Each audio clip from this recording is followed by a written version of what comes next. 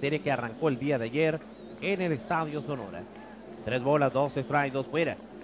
Carlos Valencia está en el círculo de espera, la primera desocupada. La cuenta llena, Gagiola viene con el latigazo, cañonazo, la pelota se va a disparar y viene una y van a venir dos. Aunque hace una pista y es jardinero de la izquierda, yo creo que le van a dar las dos remolcadas a Roberto Saucedo. En todo caso sería la número 5 y la número 6 de la temporada. Responde el veterano y nos llega a la tierra prometida también Wimberley.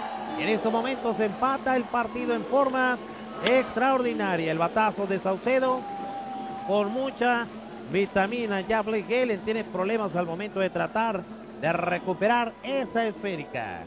Así que esto está 2 por 2. Viene a batear Carlos el Chapis Valencia.